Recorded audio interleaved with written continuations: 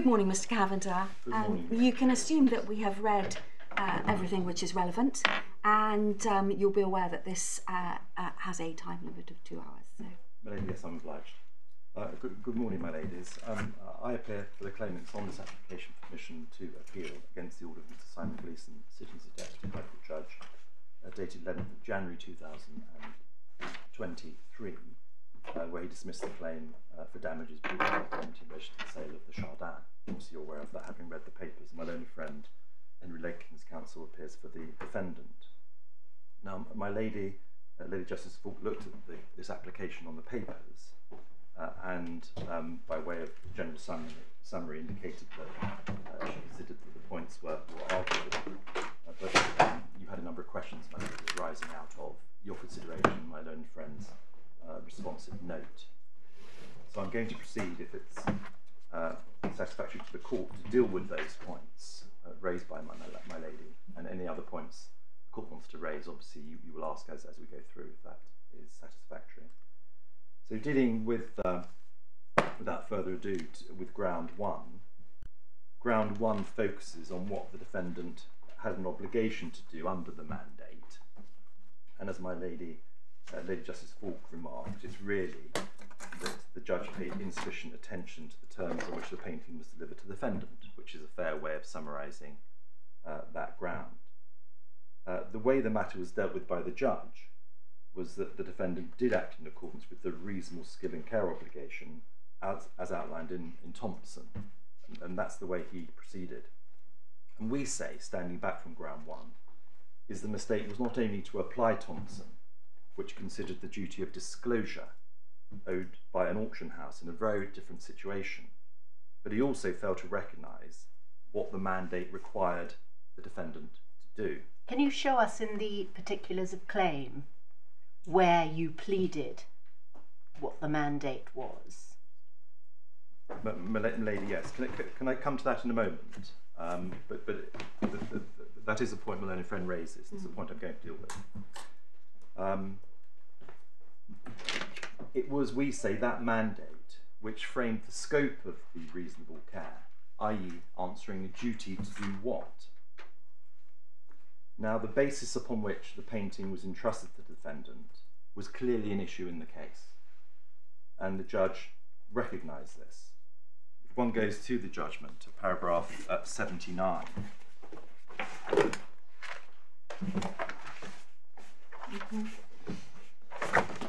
he says that it is clear that the precise details of the duties owed by Dickinson should be governed by the terms of the contract between them and the, Weems. Unfortunately, the terms of that agreement are forever lost in time and can only be inferred from the evidence. So he says that there. And then at paragraph 106, on the same theme,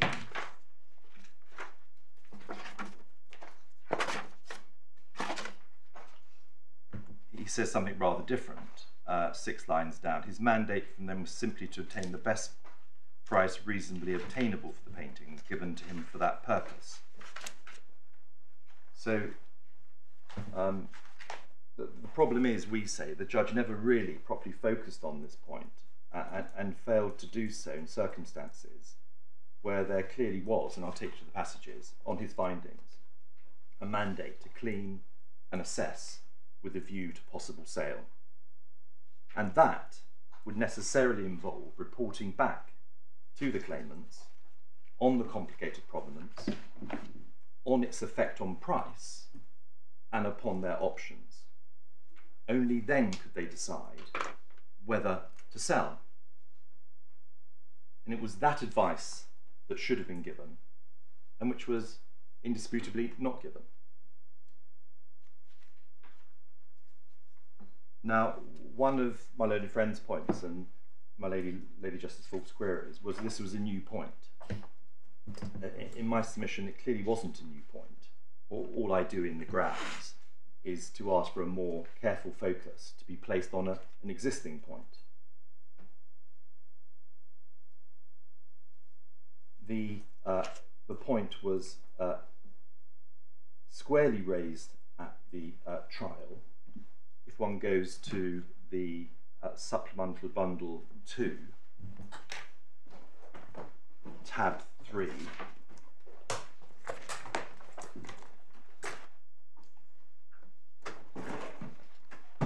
Paragraph 14 to 16.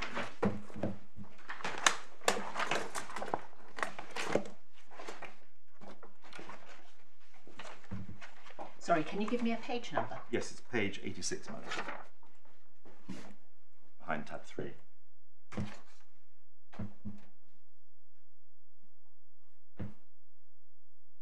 what you see in paragraph 14 is the second sentence. The painting was sent for cleaning, research and a decision to be made as to what should be done with it.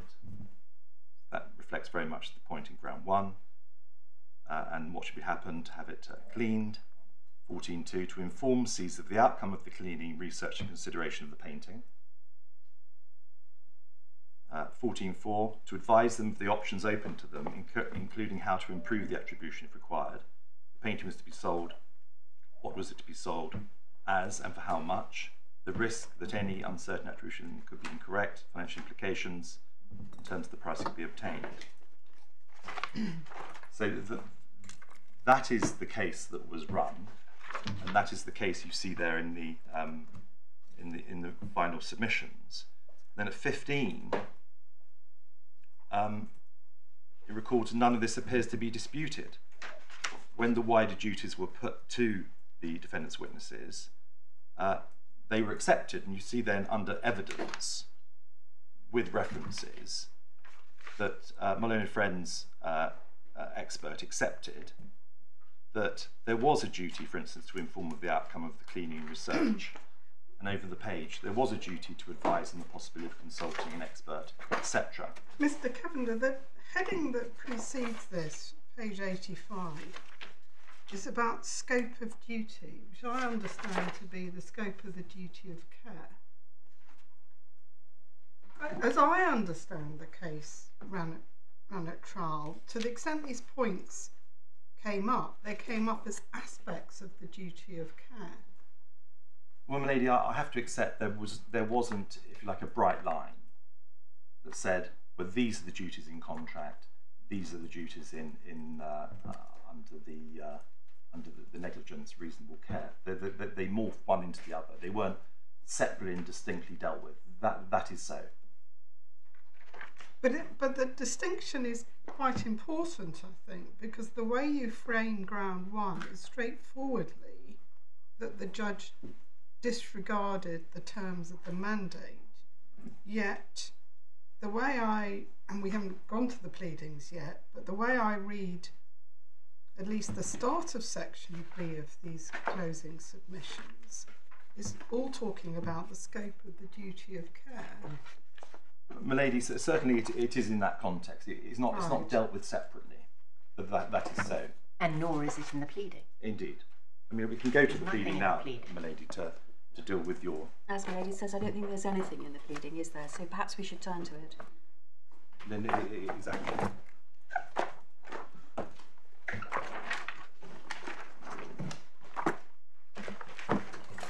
So you have it there. It's in the core bundle behind tab seven.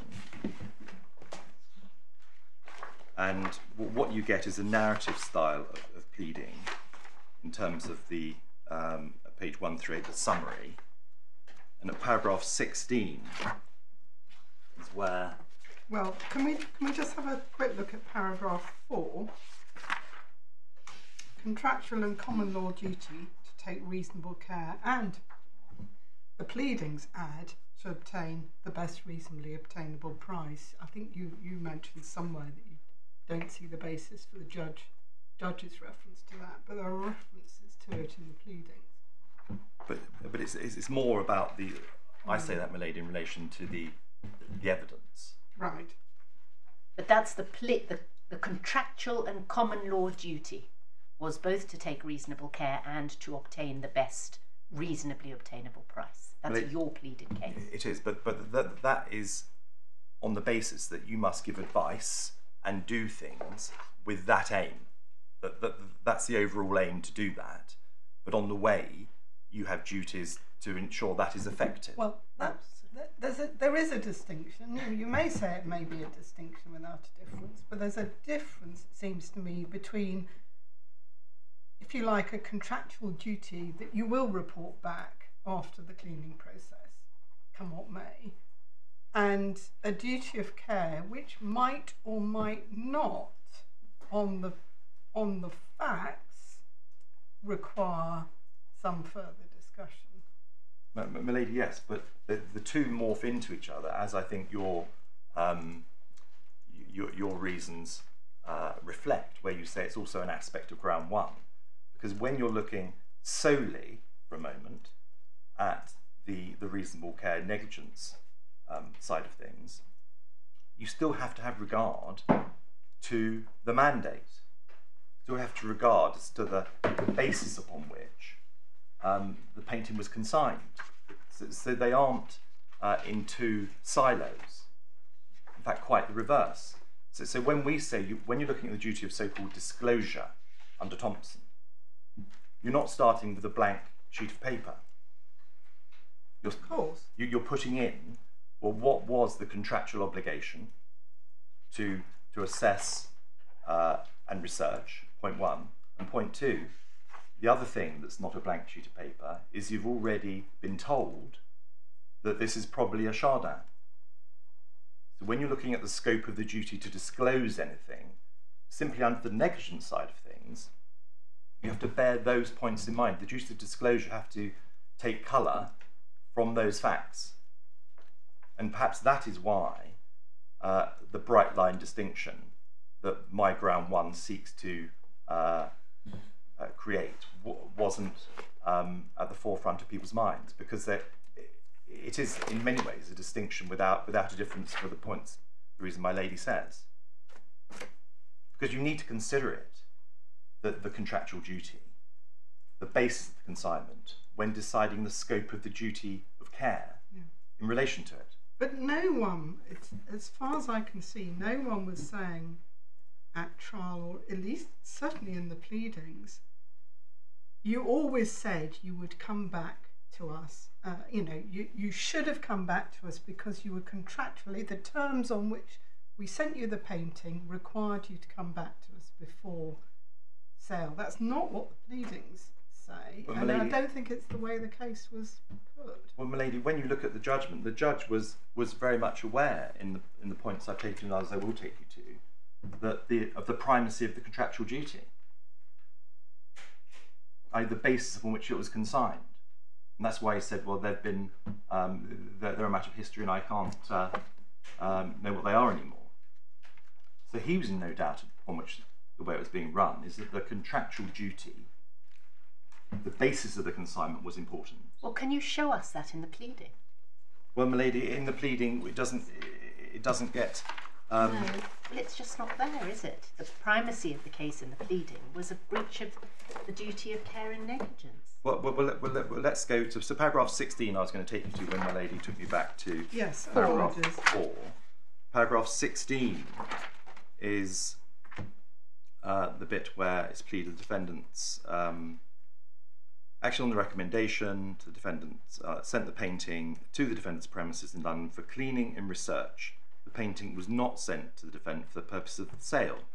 Neither the trustees nor Lord Williams asked the defendant to arrange a sale. Okay, I, I understand that, but we I, I just want to point out that we do need to read that with other references in the particulars to obtaining the best reasonably uh, uh, obtainable price. That's both in paragraph four. It's also on page one four six. Forget which par. It's part of a long paragraph with particulars. Um, three one. You, you, I don't. I think you've got to address the point that there's, I can see, I think my ladies can see any any reference to you failed in your contractual duty to come back to us before you sold the painting. Well, Milady, you, you have to take these references to the best reasonable attainable price to is dealing here with the sale to a dealer. That's what that's getting at. Is you shouldn't have done that and had a sweetheart deal between yourself and another dealer. Um, so, so you ha- you have to read that in context. It, it, it was it was it was never the case uh, at trial that um, by the claimant that the mandate was just to uh, get the best reasonable price. In fact, the, the base of the consignment found by the judge in, in, in a number of places is to assess and clean. And the point then was, well, uh, okay, and it's one of my lady's points. Well, the authorized, the sale was authorized. Well, yes. Um, and the reason that was important is because that hadn't been the mandate. The mandate had been, and we can see it in, in the documents in the case, was to take these paintings, research them, assess them, with the view to possible sale. That's in the letter. So for the sale thing to happen, to be authorised, there needed to be a, a further step. And the further step was to, to, to tell Lord Weems, well, we've got this price, it's a good price, and, and, and Lord Weems acquiesced and approved that. But that wasn't part of the mandate.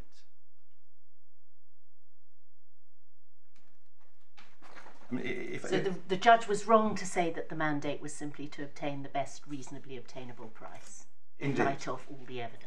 Indeed, and he, and in, in a number of places, he, he, he, he in fact doesn't um, say that. Well, he says it at the beginning of 106, doesn't he? He does, does. indeed. And nobody suggested that the, that the mandate had been reduced to writing, Correct. and no evidence was expressly directed at these points you now say were part of the mandate. Um, well, well, I think they were, Milady. If you look at paragraph 107, Yeah.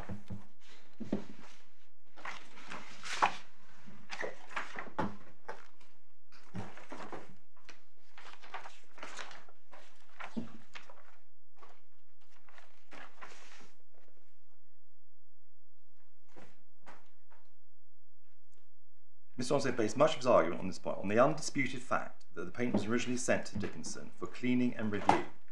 He argued that there was necessarily been an obligation on Dickinson to report back on the painting, once cleaned, to give Lord Williams an opportunity to decide whether to sell it or not. So, so, so that is a, an imprint of my ground one. It was raised, it was argued, and, and, and, and that was based on the, if you go to paragraph 29 of the judgment, that reflects the mandate found by the judge at paragraph 29.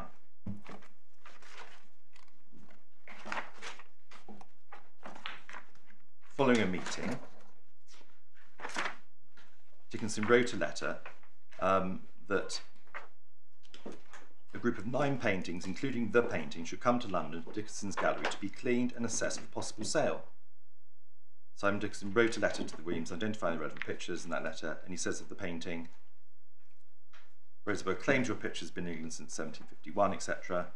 Uh, probably painted by Chardin, but very difficult to tell in its present state. But where was it pleaded that he failed to fulfil the terms of the mandate? There, are, there is a pleaded case that he failed to exercise reasonable care and skill. But where is it pleaded that he failed to fulfil the terms of the mandate? Well, my lady, it's not specifically pleaded Well, and in, in, in those terms. No, If, if you go to paragraph 22 of the pleading. of the pleading, Yeah.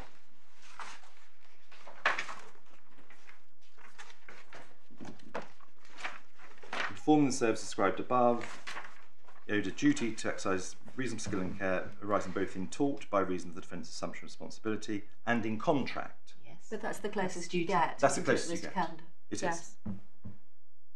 Uh, and then you get uh, in 24 in breach of, of the duties, plural, so the contractual and the tortious duty, the particulars are then set out. Negligent in. I, indeed. Yeah. So there, nowhere does it say he did not fulfil the, the terms of the mandate expressly or impliedly. Malay. Malay, no, he doesn't. Not in those terms. But it, but if you go to um, the the particulars, all, all the, for instance, if you go to page one four seven, the particulars under sub uh, three, sorry, sub four. Here, so the particulars are in paragraph twenty four, and they're numbered Roman numeral one through to four. If You go to four. Yeah. th- this is in essence, this is the particular of, of breach that I particularly rely upon here, defendant to warn the trustees of the risks involved in the course of action it intended to take, so the trustees decide whether to take those risks or not. And this is the aspect on which the judge dealt with the counterfactual. Indeed. So it's not as if the point wasn't raised, but it wasn't raised distinctly and separately in the pleading. It's covered. It's unsurprising that the judge dealt with it in the way he did in circumstances where there was no pleaded case that uh, Dickinson failed to to fulfil the terms of the mandate. Well, I'm not sure that's fair because he does mm-hmm. recall, doesn't he, in, in the judgment, in the paragraph I've, I've referred you to, at paragraph um, 107, mm-hmm. where he said Mr. based much of his argument on this point. So, so it's not as if this point wasn't raised and run. Well, on this point in the context of negligence. Well, Milady, it, my submission, doesn't much matter for, for, for these purposes the context in which it was raised. It was said there had been a breach of duty in not to doing certain things. It was part of the case that it was consigned to research and clean. But, so these are the building blocks. It's true the pleading, in retrospect, you know, could have been worded differently to, to if you like, separate out rather than have a um, sort of omnibus pleading in this way of the facts and the duties. But you ask the question, was this point raised in the pleading? Yes, it is, generally. Was it raised uh, at trial? Yes, it was in the evidence and in the submissions. And was it dealt with the judge in the judgment? Yes, it was. But in my submission, uh, not terribly well. But you need to deal with the respondent's point that if this had been raised as an issue in the pleadings, we'd have ra- we'd have might well have uh, put forward different evidence. You've you've got the point. It was clearly argued, but uh, certainly the written closing submissions seems to raise it as, an aspect of the duty of care. And the respondent is saying, if we'd understood that you were saying this was part of the contractual mandate, then we could have led different evidence or more evidence. No, well, well, the I mean, every uh, every contract is obviously different. It depends on its terms, um, and the fact that other paintings were sold previously, three or four, is in my submission neither here nor there. In circumstances where none of those had, at the time of the mandate, a uh, an uncertain uh, antecedents the thing about this case is, at the time the mandate itself was uh, entered into, the, the, the letter that, that, that, that um, was sent actually referred to the fact of the, um, if one goes to the supplemental bundle behind tab 6 to remind yourself of that letter, of the 5th of March, I'm sorry, that's uh, supplemental bundle. It's tab six, page sixteen. Thank Right. you.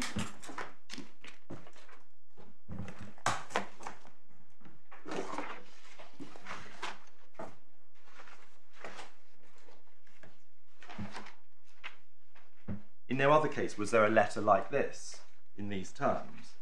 Good idea. Following pictures come to London for further research and possible cleaning. Very difficult to judge them in their dirty state. And over the page talks about the Chardin. Uh, Rosenberg claims your picture's been in England since 1751, describes it as being a reworked copy. My feeling is this painting was probably painted by Chardin, but it's very difficult to tell in its present dirty state. You take those two things together, those two sentences, and at the time of the mandate, it was clear that the antecedents of this painting, its background, uh, was uncertain, and um, Dickinson wanted for it to be cleaned and to be researched. And to some extent, the same was true in relation to the Botticelli that was sold before, and in relation to which attribution was uncertain. And Mr. Dickinson uh, secured a full attribution, and that that that course of dealings, starting then and going on to the other paintings that were dealt with before the Chardin, would have been explored Well, because none of these, um, it was never said that any of these mandates were reduced to writing, And so it would have been relevant to look at the course of dealing with But, my lady, th- this mandate has been reduced. Th- This is in writing. This is the mandate. This is the, the source of the obligation. Well, where's that pleaded? Well, m- my lady, my lady, it isn't. But it wasn't disputed. Well, it wasn't disputed that that was the letter that started the process, but nowhere was it pleaded that that was the contract. Indeed, the findings of the judge were that nobody could really remember the terms and the contract hadn't been reduced to writing, or if it had been, it was lost. But, but my lady, So that. to now say that that's the contract, but, no, it changes the position altogether. my lady, I'm not sure that's entirely fair because well, what the judge said was that this really was the contract. It was the mandate. But but there had been further conversations between Lord Weems in particular, uh, which neither of them could remember. That's the position. And if you look at the uh, the judgment, Can you remind me where he says that?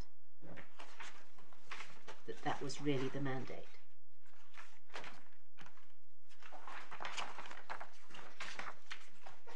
I thought the only thing we had was back to paragraph 106. Yes. His mandate from them was simply to obtain the best price reasonably obtainable for the paintings given But- to him for that purpose. And 79, the precise details of the duties should be governed by the terms of a contract. The terms are forever lost in time and can only be inferred from the evidence. Lady, yes, I mean that's the point I, I took you to earlier. But but the judge has already found, based on the letter I've just shown you, uh, that that letter, unsurprisingly, identified the terms in which the painting was um, w- was consigned. Paragraph twenty nine.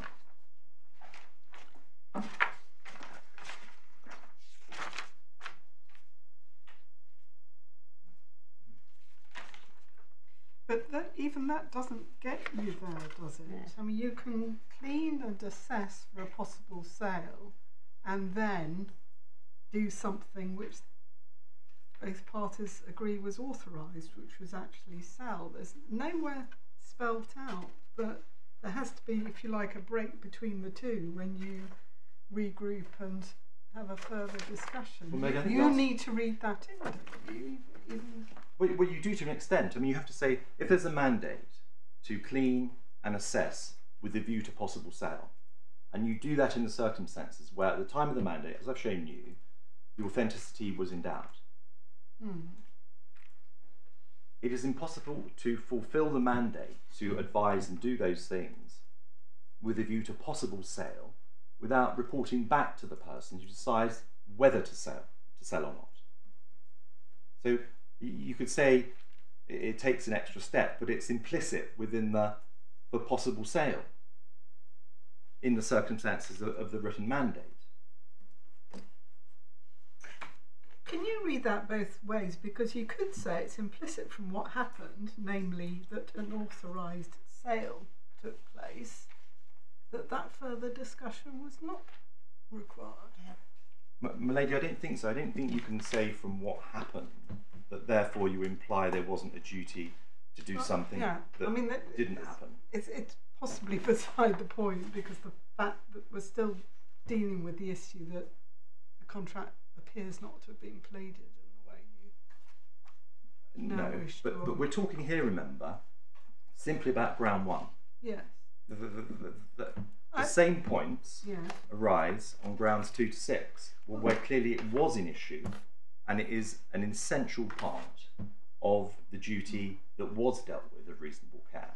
And it wasn't dealt with, I say, for the same reasons, um, properly or analysed properly in that context either. So, But Mr Cavender, what we've got, uh, as I understand it, just so that we are where we are, and we may have to uh, move on from that because we can't make uh, any more of it. We have paragraphs 29, um, 79, and 106 of the judgment, which is the way that the judge dealt with the contract, uh, the retainer, let's call it that in sort of more neutral terms.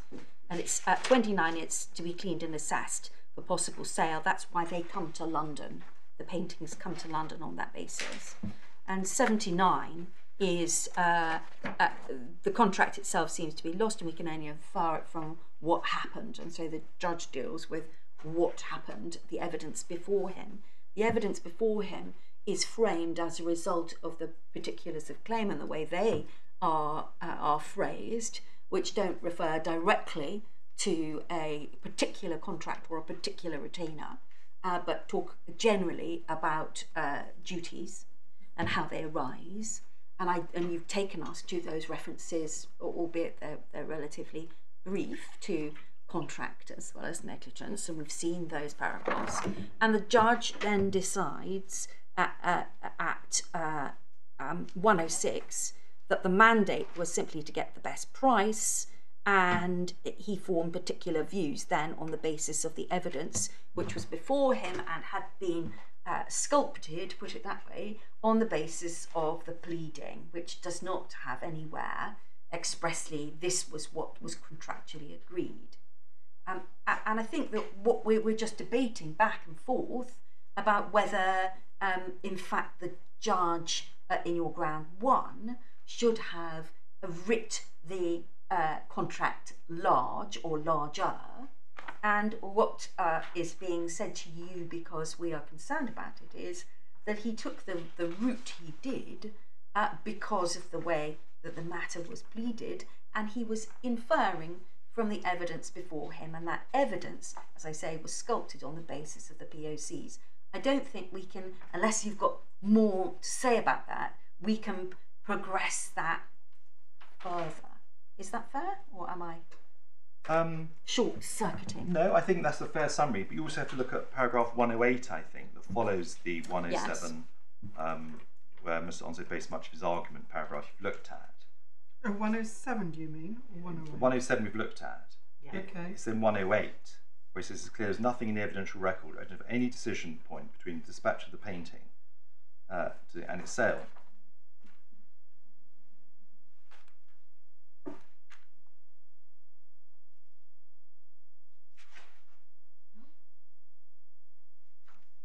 But he does say that he infers, and it was agreed that the sale was authorised, but he infers that Lord Wemyss must have known.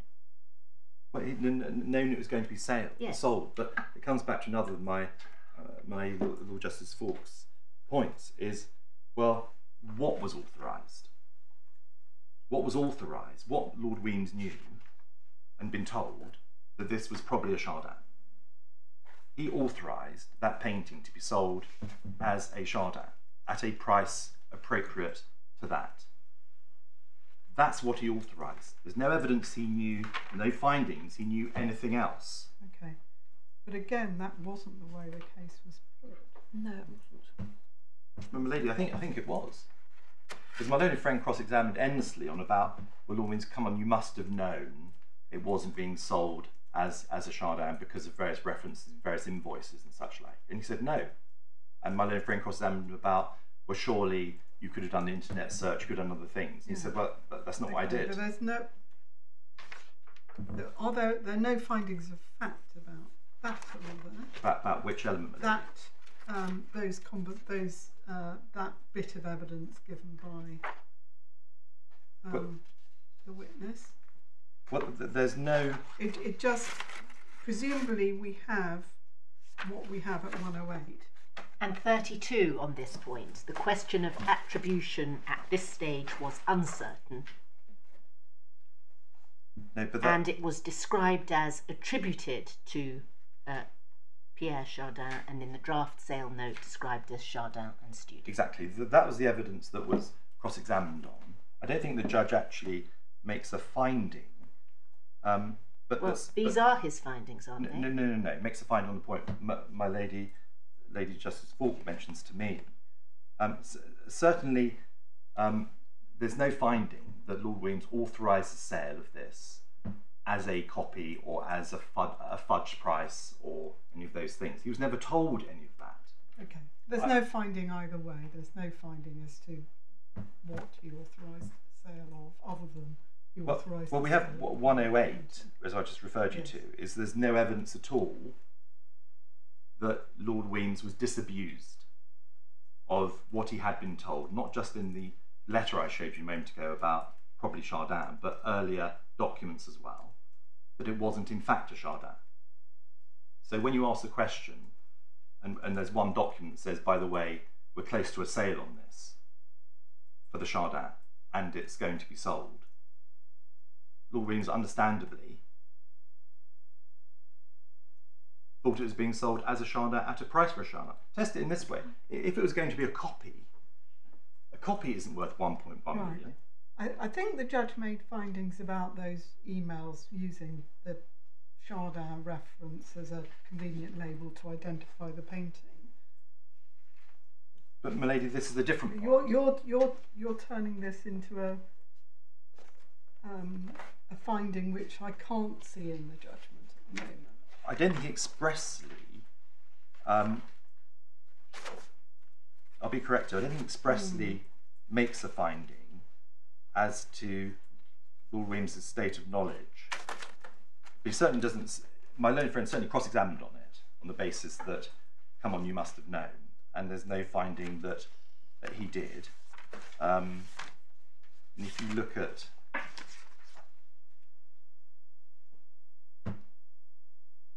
the, the witnesses, the judge accepted the evidence of the Williams as being honest, etc. Um,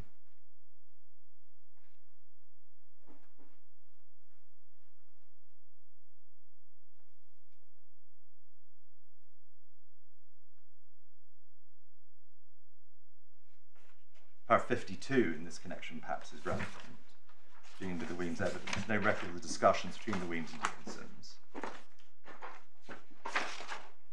Last, it's entirely clear at no point did Mr. Dickinson suggest to the Wemyss there was a chance the painting might be worth considerably more than the price at which he recommended it be sold. Now, that, that, that's a finding that is pregnant with the, the point I'm making, is that uh, at no point was he told that this um, is being sold at a discount to the real Chardin price.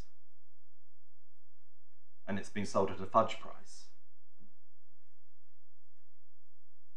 And that is the the, the gravamen of, of the complaint that you have you have a painting here which at the outset was consigned when its authenticity was in issue.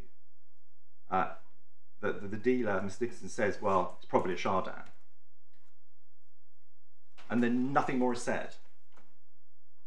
It's consigned based on research and for a possible sale. No time does uh, Mr. Dickinson come back and say, well, I've had it cleaned. Uh, it's possibly the real thing, but you'd have to go to Rosenberg to um, to do that. The upside is four or five million. Um, the chances of that are these for these reasons. He could, on the other hand, say uh, that the copie retouchée um, reference in the in the book meant something else. But but none of this happened. The question is, did Mr. Dixon, in the situation here, have a duty to do any of those things, whether in Okay. contract or in tort? Well, maybe we should move on with, Yes. uh, to to that duty of aspects of the duty of care. The duty. and the counterfactual. Because there's, do you, do you accept that if the um, if these points go nowhere because even had the advice been given, the the outcome would have been the same, then there can be no real point in pursuing these grounds of appeal. Uh, but if, if under ground one and or grounds two to six, the advice would reach the same result, then, then yes, that, that, that Yes. must be so. Yes. But, but but I say two things, but well, so you understand our position. One is that if the proper advice had been given, then they wouldn't have agreed to this sale this fudge price. They would have gone to Rosenberg, and there's a loss of a chance in relation to that as to what he would have said or done. So you need to deal with what the judge's findings were on the counterfactual because he made findings that they wouldn't, that they would have. Well, well, again, he doesn't deal with causation separately. He, he deals with it in one place as an aspect aspect of, of, of duty. If you look at the judgment and its structure, he deals with obviously duty, etc., and, and and breach. 130, summary negligence at 137, and then goes straight into damages. If there's no above paragraph 138, there's a missing section that should say causation. Now, the only time he deals with uh, this issue at all. And we say on the basis of, of, of, of, of no evidence is paragraph 106 when dealing with duty. 106 is under heading was Miss Dixon's decision to consult negligent. So when dealing with duty, there's a throwaway line in the middle of 106, or two throwaway lines,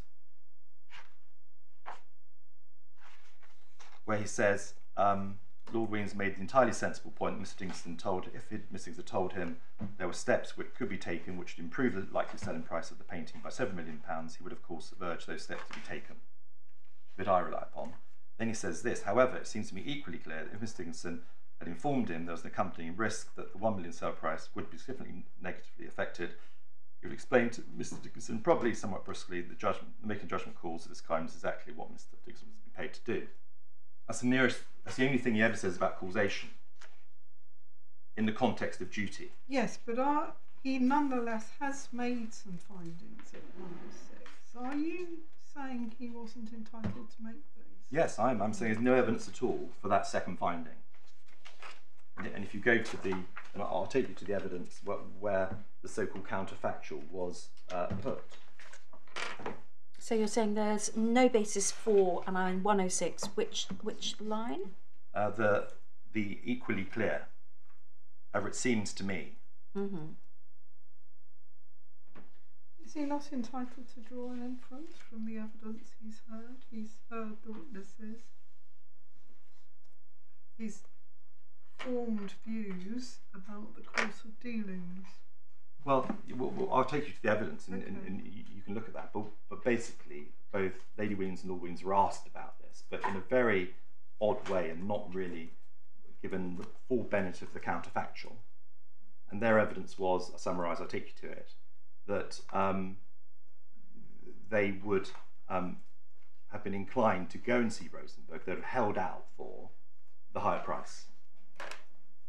But unfortunately, the way the counterfactual was put was not put fully, and particularly the upside was not, um, was not um, described.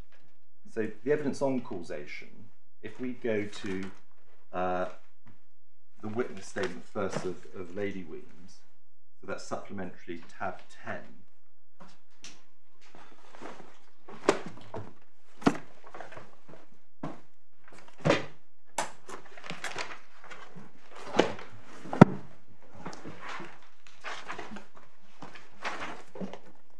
14. Uh, the last line. In particular, I would not agree to sell the Chardin if at the time Simon had not told us that he had got a good price for it, or if I had thought that it would have been possible to obtain a better price for it. Isn't this a very dangerous uh, exercise, Mr. Cavender? I mean, the judge ha- had this evidence, he heard the witnesses being cross examined, and uh, he came to conclusions in relation to fact. It's very dangerous of us for us to go back and cherry pick through witness statements, isn't it? No, I- I'm just giving you the starting point. I'm going to take you to the cross examination now. Okay. because I, I say it's clear. If we then go to supplemental bundle number two,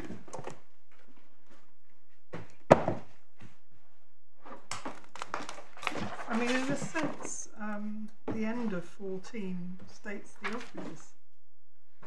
Yes, possibly. I I show it to you simply so you. Yeah. Um, so if you go supplementary bundle, tab two, uh, page fifty-five. Internal page 55 uh, or page 55. It must be internal. Yes, indeed.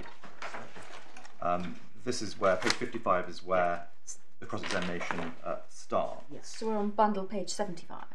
Yeah. Indeed. There it is. We go to page 57.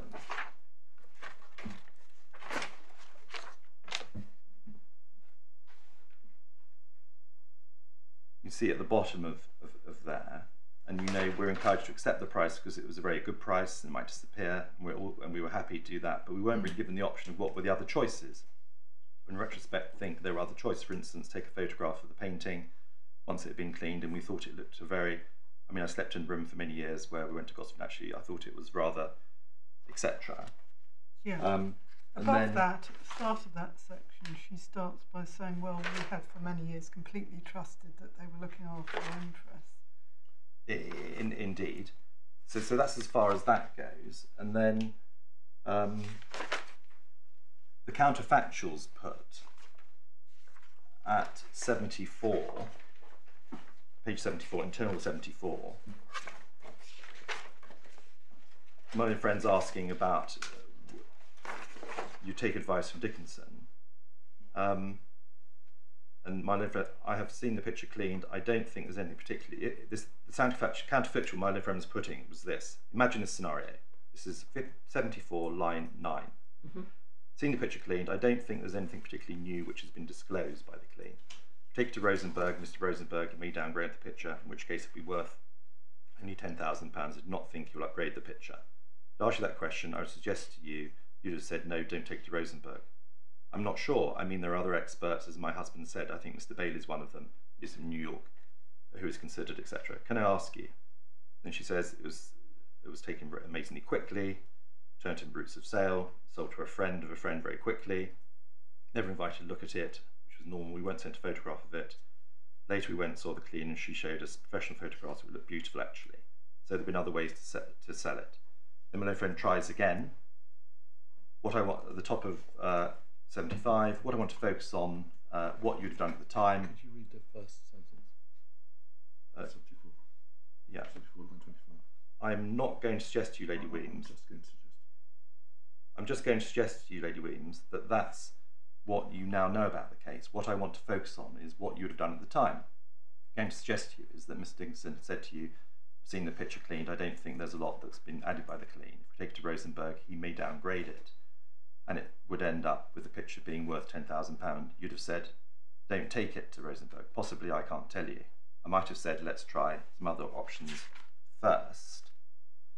And then on the same theme, page 80, line 19, because I mean, it might have been worth a gamble that it looked like a masterpiece after the first cleaning of Sarah Warden. It might have been worth having a photograph taken and shown one or two people, in my opinion. And then on page 81 at the top, line 5, yes, but he could have also done what he did with the Poussin, which was to go to these two people he knew well and say, I wonder if one of your clients would be interested in it, as on the verge of being a Chardin. So, in my submission, the counterfactual was never really asked in a proper way because it never put the upside. The proper counterfactual is that this painting uh, has aspects of Chardin in, but it, I, I feel troubled about marketing it as an autograph Chardin. If it is an autograph Chardin, it's worth five or six million. If it's not, um, uh, then it would be worth very much less. We could go to Rosenberg, and he could he could he could um, endorse it, in which case it'd be sold at six seven million. Uh, alternatively, he, he could say copie retouchée means what I said it mean in my book.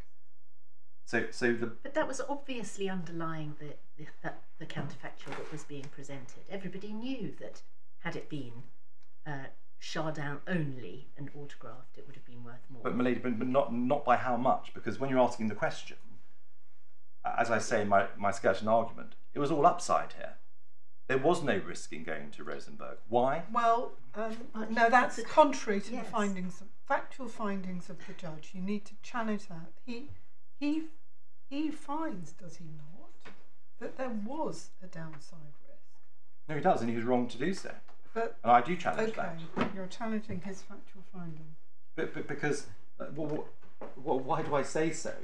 Because on, on his other findings, he holds that, um, Dickinson himself thought that aspects of this painting were by Chardin. yeah, He, he finds that um, the brazier and the exactly, Yeah. A- and he finds that the capital letter in bold in the catalogue means that he's seen the painting and it is of Chardin.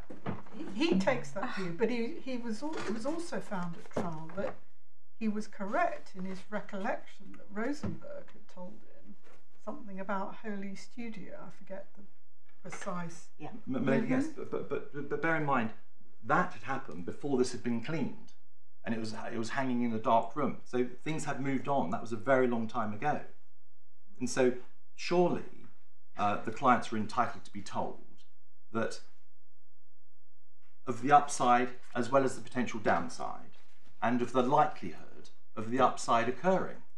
They weren't told any of this. And this all hangs uh, on, your in relation to your first grant of appeal, in relation to uh, the retainer, the contract, and we've explored that, Yes. I think, in full. Um, but I just want to be clear that you are uh, challenging uh, the findings of fact, which we find at 106, and also um, that there was a downside in going to Monsieur Rosenberg. And uh, I just want to, to that that's what you said, and I've I've noted that. Where do I find that in the grounds of appeal? Am I? I'm sorry not to have. Um, I'm not sure I had picked that up from No. the grant of appeal. No, it, it is Not all in all. there. Um, grounds of appeal are in the core bundle behind tab one.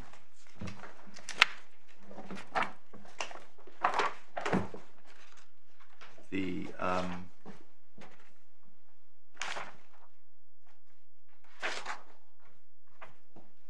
it's uh, ground C of ground three. If you look at C, the last line of C, there was in reality no such risk, and the judge should have so held. Well, that's different from the points Yeah. you're now making. That's a different point. Well, that's eh, this goes. This is the causation But point. it doesn't even refer to 106. That refers to paragraph 121 and to 103. But what you are doing is making a head on attack on findings of fact made by the judge in light of the evidence he heard and read on what in 106. Where, where is that in your notice of appeal? Well, it's certainly in in my submission covered by. Um, it's all. It's, it's about the risk. What what um, 106 is dealing with, although it's not mentioned in the in, in that particular ground, is the risk of going to uh, Dickinson. So sorry, going to Rosenberg. I'm sorry, I know it's in 106. I thought it was somewhere. Oh, it's in 103 as well, isn't it? Um, that's. I was just trying to find the judge's finding. 103, risk of the roulette wheel reference.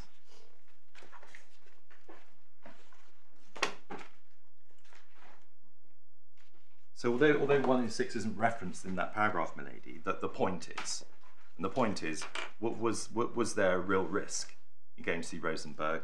No, no, there wasn't.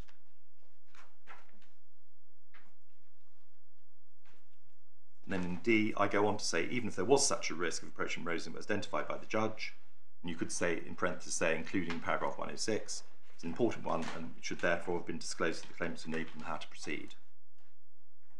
The situation had been explained to the claimants, they would have insisted that the painting be referred to Rosenberg in its clean state for uh, his view. Sorry, where are you reading from now? From uh, the paragraphs in, in C, Milady, paragraph you. 19 and 20. Thanks. But the point is, it, it is taken in the, uh, in the grounds. Can I continue what I was doing, which is looking at the evidence uh, and the points put to, to the witness and go to what Lord Wemyss said in, in relation to this. So we're back in um, supplemental bundle 2, tab 2 and it's internal page 44.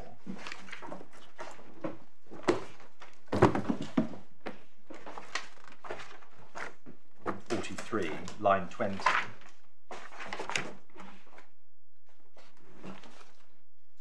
Can I ask you just one question, my own friend asked? Simon Dickinson had said to you in August 14, look at this picture. I, I'm sorry. Can you give me the reference again? Tab two. Tab 2 of um, Yes. supplemental 2, Yes. internal page in the transcript 43. Thank you. So my friend's putting a question. Look, this picture isn't accepted by Rosenberg, and I can sell it for one million now. But if it were accepted by Rosenberg, I might be able to get much more for it. You wouldn't have waited, would you, for Rosenberg to die? If I was offered the larger sum later, I've gone for that. And then the question goes on, um, uh, or, or waiting for Rosenberg to change his mind having seen the clean picture. If you answer my question, please, Lord Williams, would you be willing to wait for Mr. Rosenberg to die? I'd be willing to wait quite a long time for a much larger sum. Even if it were unlikely, even if there was some doubt as to whether it be accepted, if it was a possibility and it was a very large sum, which it seemingly was, then I'd be happy to wait. And then further question then at line 22, I've heard of another independent expert, Colin Bailey in New York, seems to be very the second most important expert in the world, so he could have sent it to him.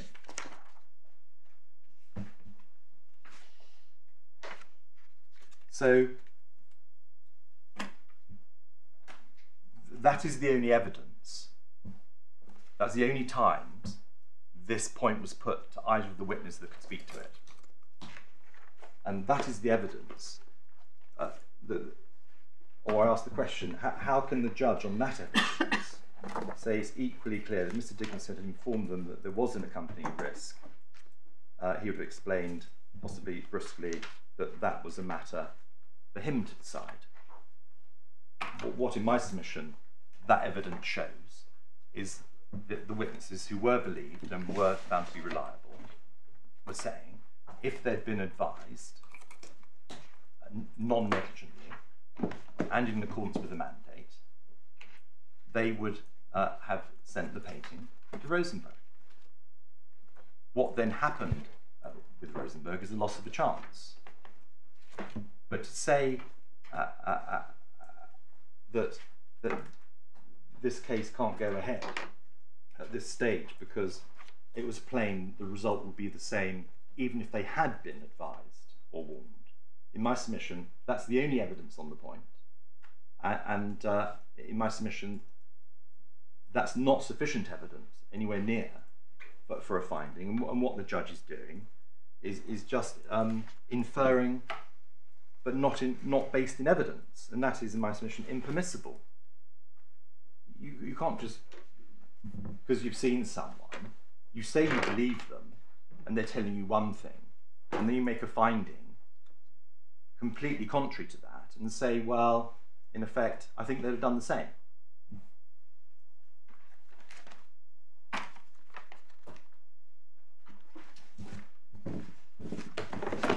I think we need, need now to move on and make some more progress with your grounds of appeal. M- Milady, yes. The um, grounds two to six, more generally, we say a dealer in Mr. Dickinson's position, acting competently, would have advised the clients of his concerns about authenticity uh, following the cleaning and, and tell them he thought parts were authentic Chardin, but he wasn't sure about all of it and that therefore he was uncomfortable about marketing it as a, as a um, wholly autograph Chardin. But he should have advised the client of their options, which would have been to show the painting to Rosenberg and ask him to confirm his view, to show the painting to some other expert, such as Bailey, to ask him for his view, referred to at paragraph 38 of the judgment, uh, to, to, to, to, sell the painting on the open market as a Chardin, but with a description of its antecedents, or to do what in fact he did, which was the possibility of selling it to a dealer at a fudge price, which is what in fact happened. My learned friend's case is and must be that he didn't have to do any of the earlier things. He could just, of his own volition, sell it at a fudged price without warning or advising the clients of anything, the possibility of it being worth much more, and the possibility of doing something to uh, obtain that higher price. That's what my learned friend's case must be, that uh, there was no duty to do any of this. And as I say, the option of showing Rosenberg was all upside. When previously asked about other works, it always said, uh, read my book. Look at the judgment, page 75. So the chances are, so, so, so the, chance, the downside of him saying, well, no, this is wholly copy, that's the risk here, remember. The, the, the, that's the my learned friend's case. Um, in circumstances where his book had the painting down as 121 capital B, bold B, I Chardin and had been seen. See paragraph 9. In circumstances where Mr. Dickinson, who uh, the judge accepted did have a good eye, his own view was that this was at least partly Chardin. See judgment power 43. That's also confirmed by the finding of the judge at power 17, where he said there's no dispute that at least some parts of the painting are by the hand of Chardin, and that fact is recognised by Rosenberg. You go to paragraph 17 to remind yourself where he says that.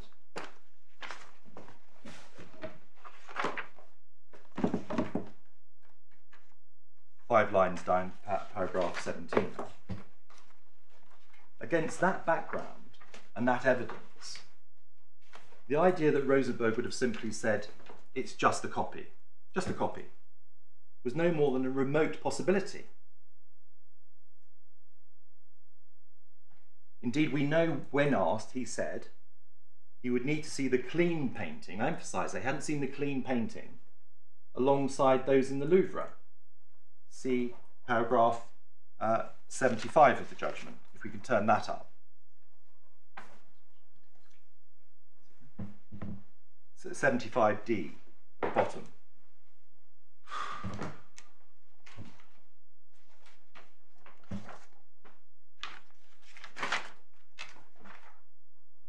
And if you look at 75, A to D, remind yourself, th- those are the responses in gave. So in A, it says, I've not changed anything, the notes of the latest edition of my catalogue. In B, he talks about his, his, uh, his review is in print already. Let's summarise at 77. Uh, Monsieur Rosenberg uh, says what he said is in the catalogue, and uh, he wasn't going to uh, change his view unless he'd seen it. Exactly. So, so, so, and he hadn't seen it cleaned. This is the important point. So it wasn't as if you were saying, "Oh, can you change or, or give us some more, a different view on the same thing." There'd been a passage of time and it had been cleaned. So, so the idea that the reason uh, or the, the non-negligent advice would have been, well, it's too risky. You know, he, he, he might say it's just a copy is, in my submission, not sustainable against that body of evidence. And certainly not sufficiently to say, well, it was so clear there's no duty to uh, warn the client or give them that view.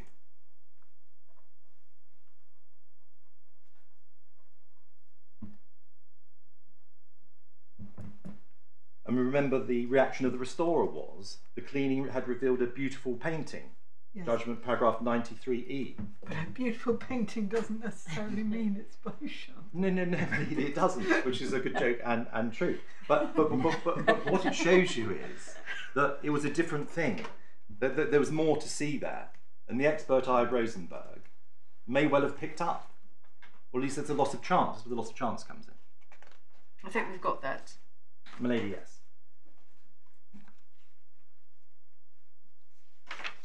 Now, um,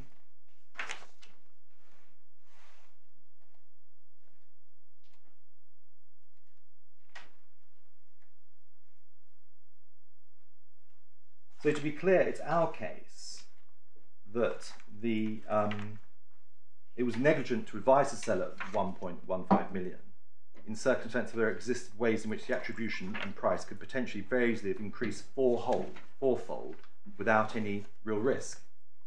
And that case was supported by the claimant's expert evidence. See judgment paragraph 109, Mr. Miss Kaminsky. Now, against th- those, um, against that evidence, the findings of the judge were at paragraph 48 vis-a-vis the Wemyss, is that they uh, were both transparently honest witnesses and did not differ from each other in any material s- um, way. He found at paragraph 52 that at no point did Mr. Dickinson suggest there was a chance the painting might be worth considerably more than the price at which he recommended it to be sold. And at power 101, when dealing with the duty to consult, the judge looks at that in a subjective way. He looks at Mr. Dickinson's beliefs as opposed to the views of an expert in the position of Mr. Dickinson, which seriously, in my submission, invalidates his assessment. And it's a mistake. Sorry, can you just repeat that point? Paragraph 101, dealing Yes. with the duty decision not to consult Mr. Rosenberg. Yes. The, the judge applies a subjective test. He says, I think it's clear that if Mr. Dickinson had believed there was a serious prospect of persuading M. Rosenberg the attribution of the painting could be improved, he should have done it. And he is talking about what he believed, if he believed the likely outcome. At no point is he depersonalising the test and saying objectively, uh, an expert in the position of Mr. Uh, Dickinson and what he would have done. And it's not a slip of the pen, as you see in the grounds of appeal, ground 2b. There's about eight or nine instances where the judge does this. In fact, nowhere in this judgment does the judge ever purport to apply an objective test.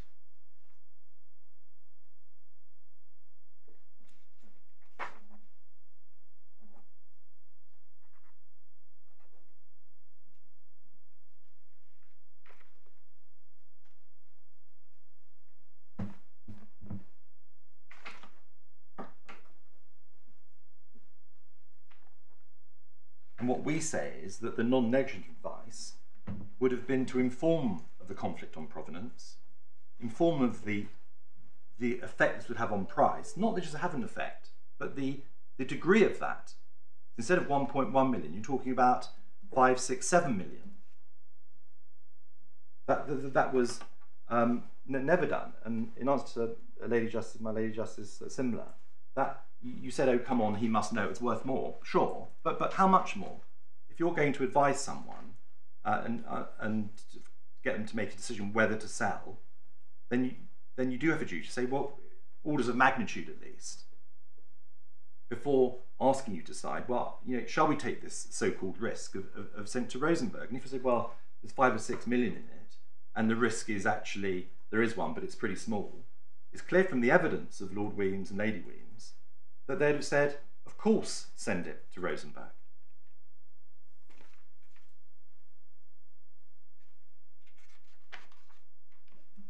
So that's the, the non-negligent advice that uh, should have been given and wasn't. There's, there's, and this is the case where there's not any doubt about that, that this advice was given on the judge's findings. There's nothing at all was, no advice was given. Look at paragraph 108. Clear, nothing in the evidence record identifies any decision between point, point between the dispatch of the painting and its sale. Now that is in my opinion, it's extraordinary when the mandate or consignment, call it what you will, was to uh, research and clean with a view to possible sale. Not to come back at all with anything. Despite the fact at the time of that mandate, the, uh, the provenance was expressly being questioned, although it was probably a Chardin. That is, in, that is the gravamen of this case and of this permission to uh, appeal. You, and I you think also have to. Fa- fa- I'm so sorry. You after you. 109, um, where the judge says he didn't think it negligent for a dealer who'd been given authority to proceed on the basis of his own discretion to do so without further reference to the principle. Milady, th- that reflects the earlier findings. Exactly what Yes. what what was what, what's the basis for that finding? Well, where's the evidence in the judgment or in, in, the cross examiner anywhere for that finding? That that you, you had essentially a mandate to take this painting and sell it for the best possible price. Full stop. Th- th- that's the net effect of that finding. Yes, Now, consistently with his earlier findings. Exactly, but but it's not consistent, my lady, because he recognises that the, the terms on which the painting was uh, consigned are crucial, but he has trouble establishing them. But he has found that there is a written uh, document that constitutes the mandate that's wholly inconsistent with a general discretion to sell at best price. Well, we've been over that. Yeah, we have, yeah. And it, it was me, my fault for raising it. Sorry. Milady, no, no, it's good, it's good to go around and make sure that your leadership has, ha, has, has the points. And I think we do have the points, and we have the the central uh, basis of all of the grounds. I think um, you started off obviously with ground one and the uh, the retainer, the contractual point, but I think the other grounds, uh, two to six, all have this resonance, which is what you've been uh, concentrating on, and we've got the points about what you say about the judge's findings, which you say he shouldn't have, couldn't make, and uh, his subjective rather than objective approach. And then ground seven uh, latches on uh, to those grounds. Is there anything else that we ought to be um, taking into account? Because I think we've got that general picture.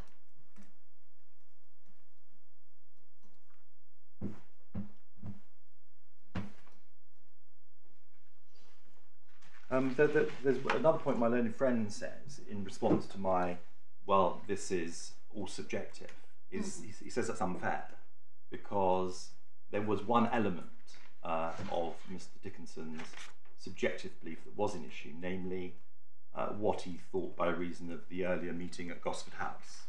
But that was the only element of, of, of, of his um, subjective belief.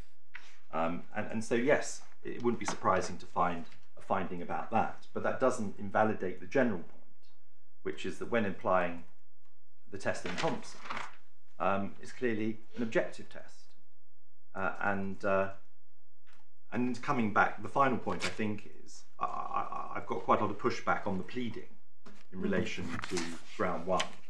Um, whatever the answer to that, the point was squarely raised, and it was certainly squarely raised in the context of the uh, the reasonable duty under grounds two to six, and the very same points arise there. The very same points. Uh, where the pleading point can't, in my submission, be taken against me, because of course it, it falls out of the duty of reasonable care, and the judge makes findings on that basis.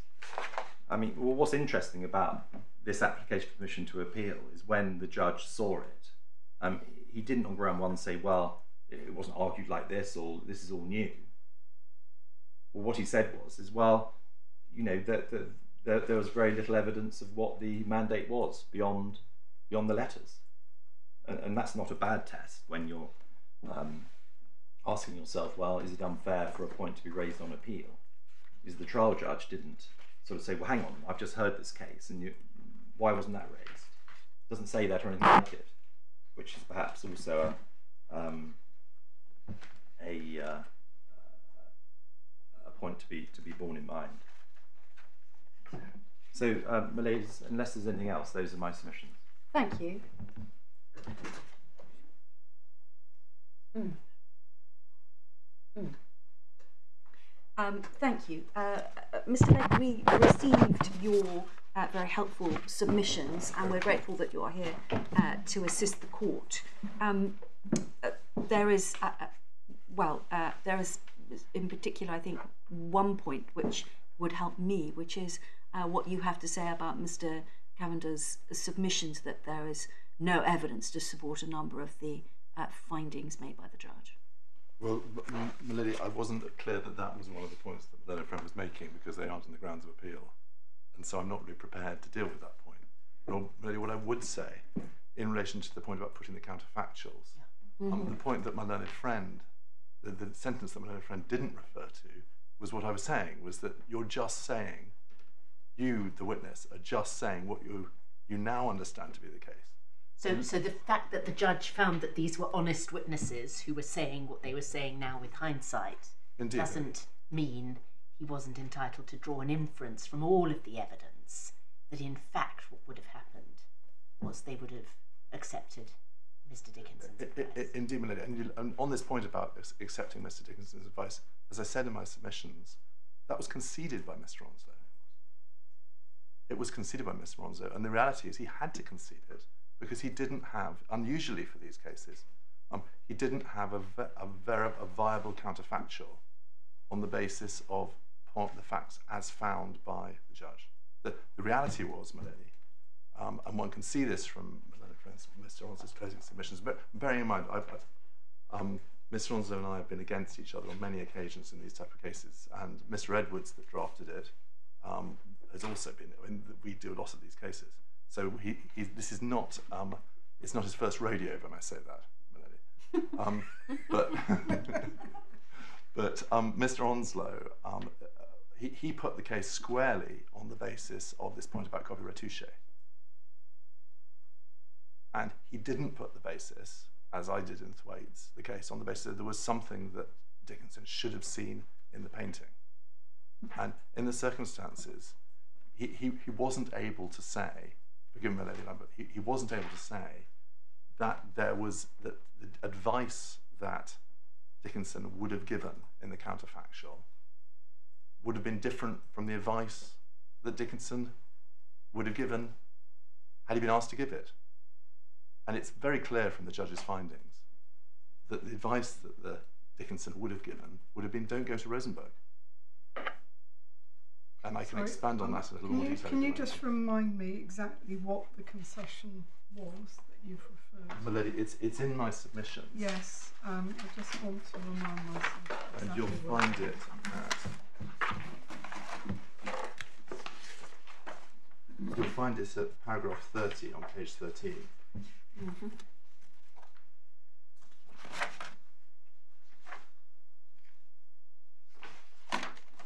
30A. Okay. Next, lord, I'm going to charge on, my lord. This, this was in closing. This is in, in reply in closing. And, and what happened, my lady, is that um, there was a point raised in. This might be boring detail, which your ladyships aren't interested in. But um, the, the point was is that Vilma Ramsey, who was one of the trustees and therefore one of the decision makers, didn't give evidence. Yes. And so it's obviously very difficult to set up a counterfactual in circumstances where one of the decision makers isn't giving evidence. So our closing submissions said you should be drawing inferences from the fact that Vilma Ramsey didn't give evidence. In um, the submissions that were made by uh, Mr. Onslow in, in sort of in response to that were, well, of course, um, if they were given non-negligent advice, um, if the trustees or, or Williams had been given non-negligent advice, they would have followed it. And Milady, it's very clear um, from the tenor of the evidence and the way that it's pleaded, and the fact that Mr. Mr. Dickinson had made a fortune for the Wemyss in relation to previous sales of these pictures. There's over 25 million pounds worth of pictures were sold. Um, it's very clear that they would have followed his advice, So, and that's I mean, when in concession essence, was you're made. saying there's a concession that they would have followed his advice, Indeed, and his advice, advice actually would have been not negligent. I- indeed, Milady, and, and that's where my learned friend is now attacking that attacking the question of applying to Rosenberg. That's why he has to attack it. Um, I, if, if you'd like me to, my lady, I have some points, ladies, I have some points that I could make in relation to that, or you, you, you might not find it helpful. No, no, please do. Um, if I could make some, um, obviously I was there, so I, I've lived this case. Um, the, the, one of the points your ladyships should um, should um, pay attention to, if I make if I make my submission, is um, this point about de la main de Chardin. Now, really, what the case was about was the the spectrum of possible attributions, hmm. and the the way that Rosenberg, and this is in paragraph 10 of the judgment, but if I can just explain it, it may be quicker. The way that Rosenberg approaches the question of attribution is using the phrase de la main de Chardin. Mm-hmm. And de la main de Chardin includes both downright masterpieces, like the first Louvre version, And little. And, Pictures. and little pictures, and also studio copies. And um, the de la main So Chardin- even even though they're not, even though they're not with de la main de Chardin, Rosenberg still includes them. Okay. And and If, Chardin- if they're his studio. well, it, it's more complex than that. Okay, In- all right. all right, let's not and and your ladyship will see that in paragraphs nine to fourteen. No bright line between wholly autograph and partially autograph.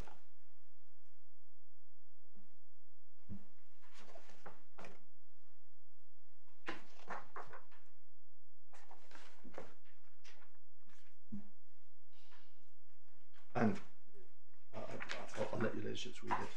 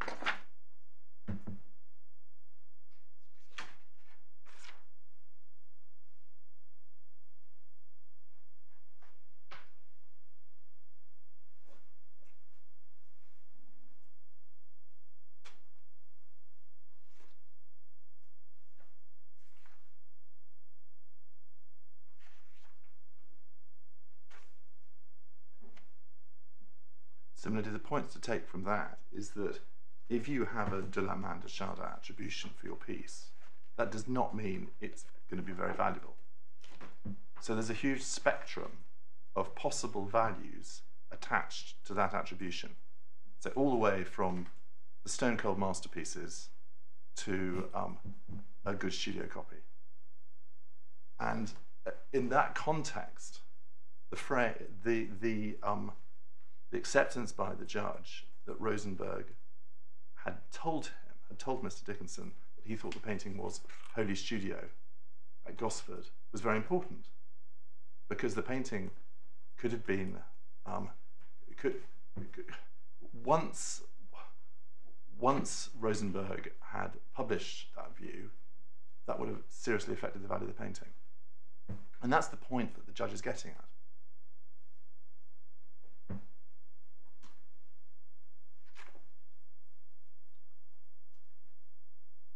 Now, as to the... and sorry, and Mr. Cavender is saying once it's cleaned, uh, it was obvious it, it uh, they should have had another shot. Well, well, two points about that.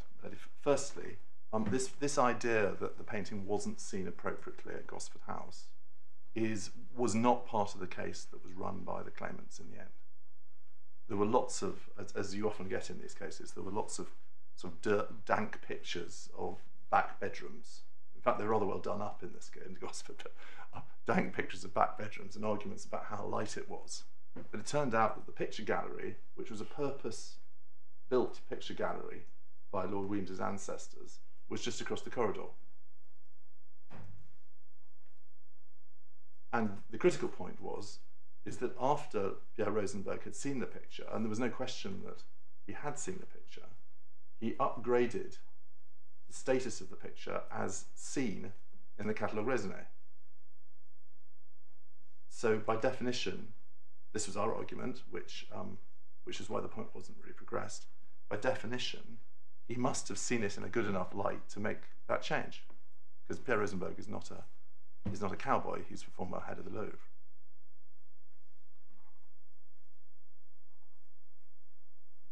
So, and, and as to the point about the effects of the cleaning, um, it was accepted by Ms. Kaminsky, and uh, forgive me, this is a new point to me, so I don't have the documents available to me. It was accepted by Ms. Kaminsky that Mr. Dickinson would have been able to gauge whether the painting needed to be shown to Rosenberg after the clean. And that was a critical part of our case. And if he'd seen something particular that made him think, well, this must be Chardin Indeed. himself. He, through all the painting, Melody. And, and Mr. Dickinson's evidence, and Mr. Dickinson spent a lot of time in the witness box. Um, uh, Mr. Dickinson's evidence was that he, uh, and you'll see, you'll see it in the judgment. He, he went to the, he went to, he looked at the picture. He thought there were some good bits in it. He saw that he looked at the picture in the Louvre, um, and he came to the conclusion that this was just not of the same quality, and that the bad bits in his view, continued to be bad, even after he'd seen the picture in the Louvre. and there was this argument about well, you you should have taken transparency, and the judge said that Mr. Dickinson, like a grand master, would be able to. Which, if you've met Mr. Dickinson, you could well believe. I have to say, but um, uh, that, that's not to submit. That's that, that's not maybe something I should be saying, really. But um, uh, let me put it this way: I think his record speaks for itself in terms of um, his ability to, um, or his, his his capacity as an eye. What's called an eye in the art world. Similarly, those are the, those are the points in relation to Rosenberg, and, and that was the thrust, that was the context in which the judge came to the conclusion that he did in relation to showing Rosenberg the picture.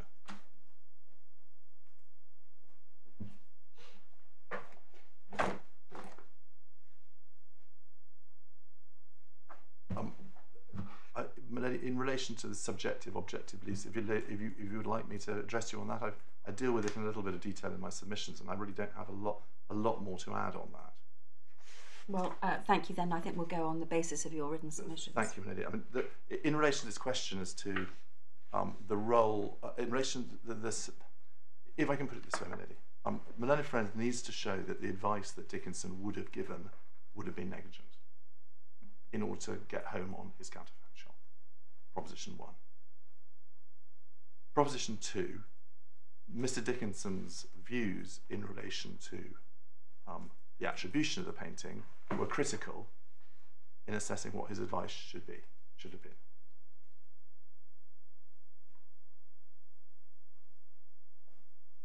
The, the claimants made a challenge to Mr. Dickinson's evidence, saying that actually he really did think it was a proper Chardin, a fully autographed and they lost on that. And that was a subjective ele- That, element. that, that has to be a subjective element.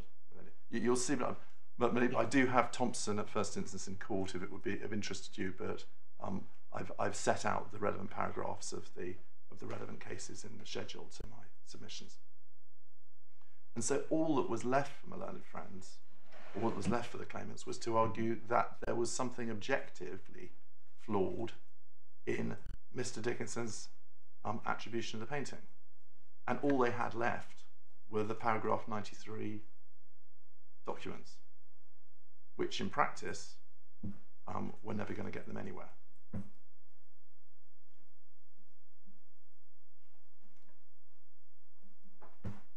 Because they didn't engage with Mr. Dickinson's assessment of the painting independently of those documents. And if it would if it would assist you, ladies, bishops, I could take you through the paragraph 93 documents, or take you to paragraph 93 and, and make some comments on it if that would help you. Um, But there are there are in my in my written submissions. they're in the written submission, so I think we'll be I'm um, grateful, lady. happy with that. Yeah. Yes, thank you. I'm, I'm grateful. Um, th- there is the point. In, Lady Justice Falk made this point about um, the way that the judge deals with the counterfactual. Um, so, if I can, uh, this is paragraph 158. I don't know if this, this continues to concern your ladyship. This is 152, forgive me. It's at page 120 at tab 5. Yes, it's just the way he says it's not impossible. Um, if, Milady, if I could just get, put the context of, of that um, observation.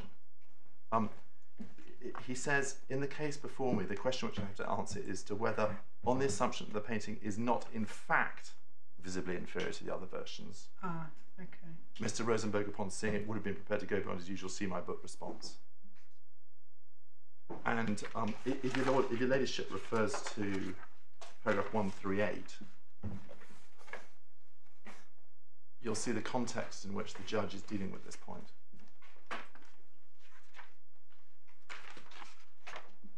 Now, what he should have said is um, uh, this counterfactual is only relevant if Mr. Dickinson's view as to attribution is wrong, as opposed to whether or not he should have given advice, which is the substance of the different advice, the substance of the of the of the of the attack now. But it's pretty clear that that's what he meant from two things. Firstly, can I take you to paragraph one one seven?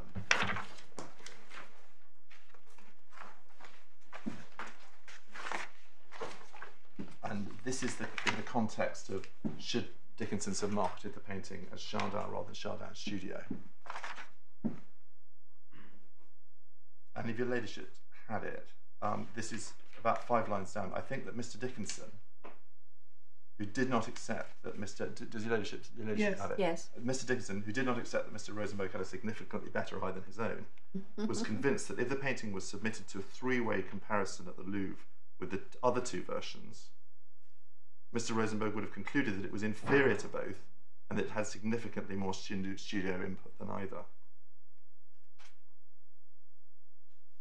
And if, if your ladyships um, go back to what Madonna, what, forgive me, to what um, the learned judge says at paragraph 142, he's saying, on the assumption that the painting is not in fact visibly inferior to the other versions. So what what the judge is saying at 152 is if, if Mr. Dickinson's view as to what would happen in the, um, there's a particular French phrase for it, which forgive, forgive me, eludes me for the moment, in the confrontation, in the, if, if there were a particular, if, if Mr. Dickinson's view as to what would have happened in the confrontation was negligently wrong, then this is the scenario that would have arisen. And for what it's worth, my ladies, um, I can take it, it the, the judge in the the judge in the permission to appeal hearing specifically makes this clear. If it would help your ladyship, so Can you can. just point, give us the reference? The reference is. Email, I'll do it. It's um, supplemental supplemental bundle one, tab nineteen, page one six seven, F two A. The following page.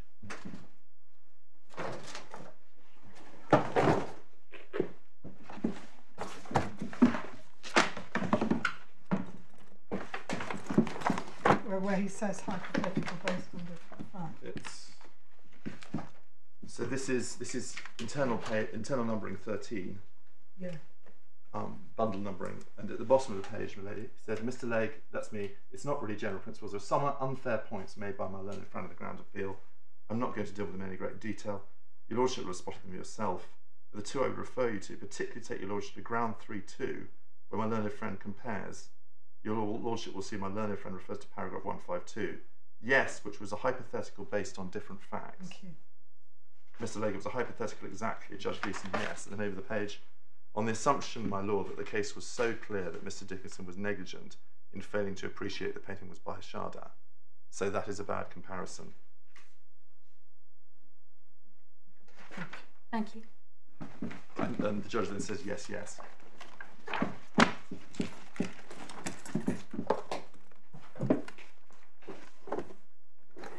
So, Millie, that's, that's in relation to paragraph 152. Um, there were further points raised in relation to different ways of approaching Rosenberg, which Lady Justice Falk referred to in her, in her order, whatever one might call it, reason, might call it. I I can deal with those if ladyship would wish me to, or you may just feel that they're not. Um, I, I- think that uh, we don't need that. Thank I'm- you I'm very grateful, much, Mr. I'm grateful. Unless I can assist your ladyship any further. Thank you very much indeed. Can I just refer to one point? Just occurs to me, uh, my little friend showing the decision on application leave to appeal, core five. It's paragraph eight when he's dealing with the second pillar, the terms of the contract. Paragraph eight, the judge says this. As to the second of those pillars, the key to this case is Sorry, of course. No, where, where where are are you reading This is para eight of the document, my learned French decision on application for leave to appeal, core tab five. It's, I think it's don't core, think it's core, core. core Tab tab six. six. Oh, sorry, I'm obliged. Oh, Page 125. I'm obliged. I've taken mine out, obviously. Um, it's paragraph eight of that document. It goes to the point I said about the judge. His reaction wasn't uh, to say, "Well, this wasn't uh, argued like this." Para eight. As to the second of Mr. Onslow's pillars, the key to this case is, of course, the terms of the contract between the claimant and the defendant. So he, he very much had that in mind. So the suggestion this is the, the new point, and he didn't didn't uh, have regard to it, it doesn't really um, fit, fit with that either. He's saying there, uh, as he says in the judgment, uh, that it's it uh, vary from time to time and it's got to be inferred from conduct. I- Indeed, and but but the thing about that is obviously it is in writing. I'm not going to go those much again. You've seen the documents, and he accepts that. The difficulty with inferring from conduct something that hasn't been done is deeply problematic. From conduct, you can say what what was agreed, by conduct. But where you're saying something should have happened that didn't, either warning or advice, Yeah. then the fact that it wasn't given doesn't say anything about whether Well, that conduct is yes. supportive or not. Of course, I can see that point as an aspect of the duty of care, but you're addressing here the contract point, which I think we've sort of fully Yes, covered. But it, it goes to both in a way because the judge is saying here the contract is not just the, the letter and the consignment; it, it's other things. But he doesn't identify what those are. Yeah. Is my point. But you, you had those points, and there's, there's no point repeating them. Thank you. Unless I can assist you, those are my submissions. We say there's a realistic prospect of success, and the motion should be granted. Thank you so much. Uh, thank you to both of you for your assistance. We're going to rise for a few moments now. Uh, please don't go away. All right.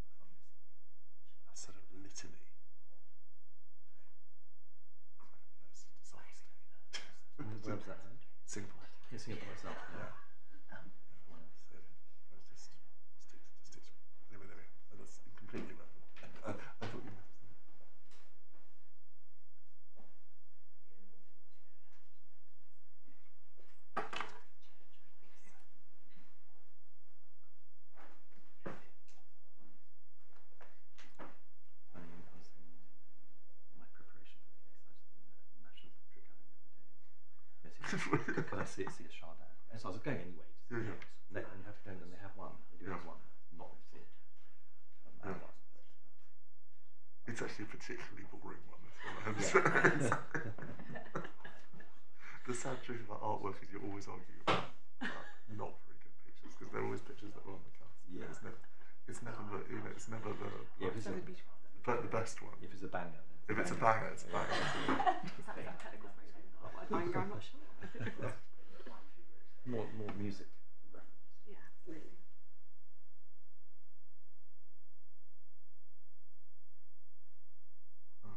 This one was actually Andrew Lofter because we've done quite a few of these cases together. And at the end of it, he rang me up, and I was actually in bed because we just got our submissions in. I was having a sleep, and he said, "I'm too old for doing this." Just because we made a mistake doing too tight a timetable on it. All right. And there was, and as you can imagine, it's a lot of experiments. I mean, there's hundreds and hundreds of pages, and it was just, it, it was just, we once we've done before, we've always done with, you know, so there's a big gap, and we were just a little bit too optimistic, and it was bloody hard work. Yeah. It's best to leave a gap if you can. If Yeah. you get the call to an hour. Well, yeah, well, we did. The problem is, if we did in a way, there's no gap, that's better.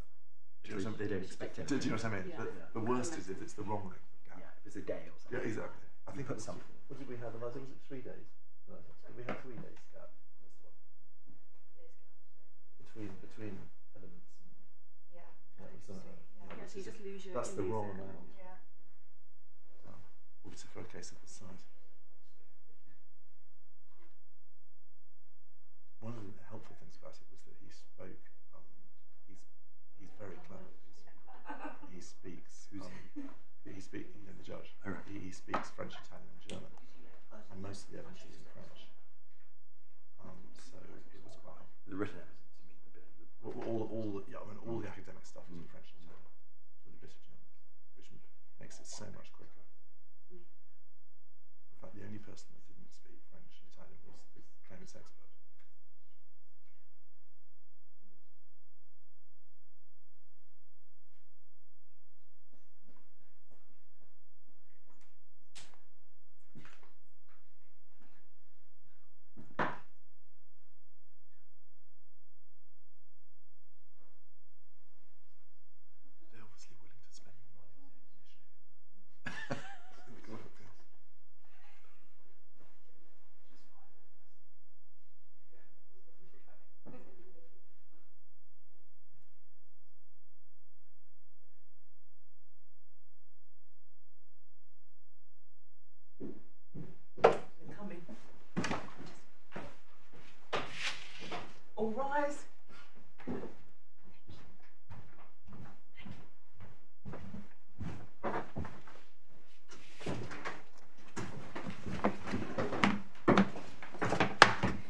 Thank you very much indeed for your very uh, careful and helpful submissions and for Mr Legg's uh, additional uh, written submissions.